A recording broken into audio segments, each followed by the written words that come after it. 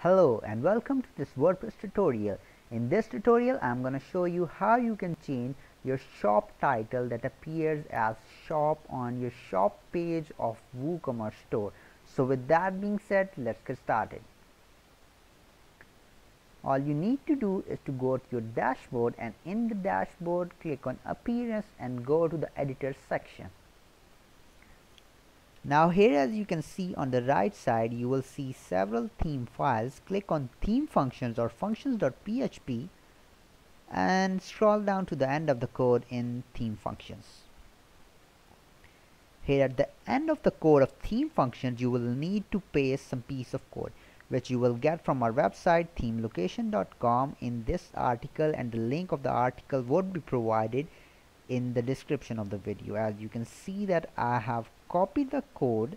Now I will be pasting it as it is in the code at the end of theme functions. Now just update the file.